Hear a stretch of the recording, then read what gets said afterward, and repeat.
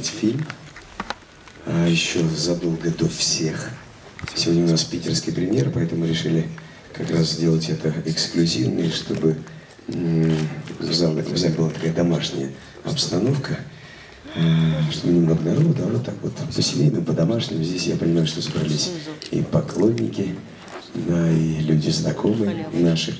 А очень хотелось, чтобы вы оценили картину, добрую семейную картину, которая является, мне кажется, подарком к Новому году. С 1 января 2016 года пойдут, пойдет по всем кинотеатрам страны. А, с особой гордостью хочу отметить, что эту картину 20 век Фокс отметил 2000 копий. Это больше, чем елки, больше, чем Высоцкий, спасибо, что живой, и другие картины, которые действительно шли по кинотеатрам.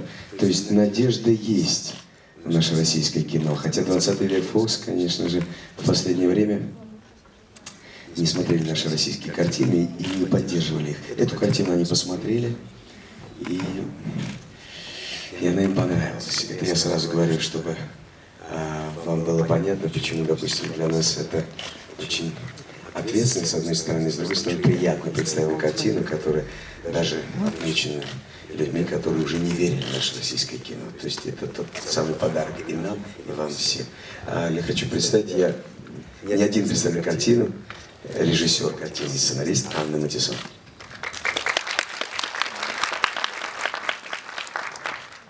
Мы показали картину в трех городах. Мы показали в Иркутске, в Новокузнецке и в Новосибирске. Мы, в общем-то, поэтому в таких свитерах, потому что там холодно.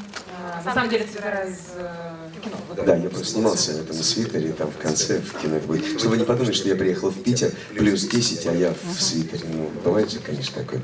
Конечно. Холодно не, не холодно. холодно было в Новосибирске, в Иркутске было холодно. Вот там действительно настоящая зима. Сейчас в Иркутске минус 30. 20. Минус 20? Да, 20. 20? Я из Иркутска. Будет 30. А у нас будет плюс 30, я думаю, что... Вот, так что этот свитер настоящий, и мне приятно, что я сегодня представляю эту картину как раз практически в костюме своего героя. Да, и э, эти три показа, они прошли в хорошей атмосфере, и э, это первая встреча со зрителями. Сейчас первый раз мы представляем не в Сибири, а здесь. Э, уже в столице, столице столичным зрителям. Есть огромная разница для нас внутренняя, потому что все-таки кино, которое снималось в Иркутске, и которое про про Иркутск, про Сибирь во многом, то есть во многих были персонажи узнаваемые, оно не московское кино, это точно совершенно. Видите, какой плюс сразу Питеру? Это не московское кино. Видите, сразу, посмотри, какой сразу ажиотаж. Овация практически началась в зале. А в Москве мы скажем, это не питерское кино. Поэтому сейчас нам интересно, как вы посмотрите вы, насколько кино, оно такое, знаете, если честно, без претензий, да, на то, что мы какой-то сняли артхаус, который займет трое друзей родственников. И это не очень это все-таки кино, которое именно масса. И нам бы очень хотелось, чтобы это массовое кино, оно было каким-то э, добрым, остроумным, после него возникало ощущение нежности и э, кино семейное, да, и любви к своей собственной семье, не к кому-то там, не, когда, нам, когда... Да, не слышно. Да? Так надо. Когда, знаете, когда хочется счастья и любви всем его хочется, и нам хотелось, чтобы это ощущение было найдено внутри себя чтобы под конец картины вы увидите, что с героями внешне-то ничего не произошло, ничего не поменялось. Счастье найдено не вне где-то, а оно найдено внутри. И вот это, вот это очень важное состояние той нежности, которая возникает к концу, мы надеемся, что она возникнет, по крайней мере. И все это в рамках какой-то такой простой и, мы надеемся, смешной комедии, новогодней. И потом самое смешное, что я все-таки играю не очередную роль великого какого-то человека, легендарного, поэта, барда. Я играю электрика. Иркутского.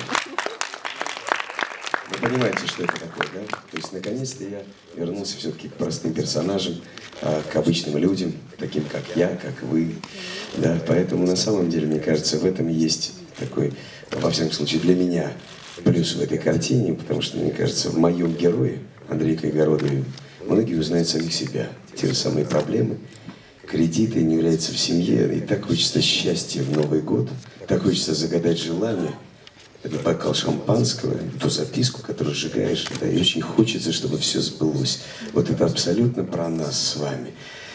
Вот это то, что я хотел бы на самом деле передать вам в наступающем новом году как подарок в наступающем 2016, который говорит, что будет не совсем простой год, но хотел, чтобы вы ушли с хорошим настроением. Мне кажется, это картина для хорошего, доброго настроения. А нам этого так надо сейчас.